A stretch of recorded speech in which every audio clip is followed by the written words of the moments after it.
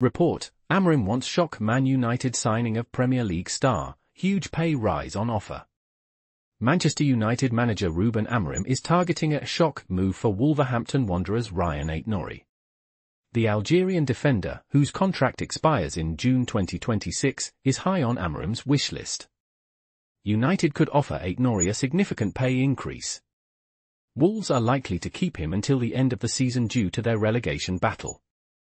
Amorim will evaluate the current squad and determine the futures of several senior players with expiring contracts. Please subscribe to my channel.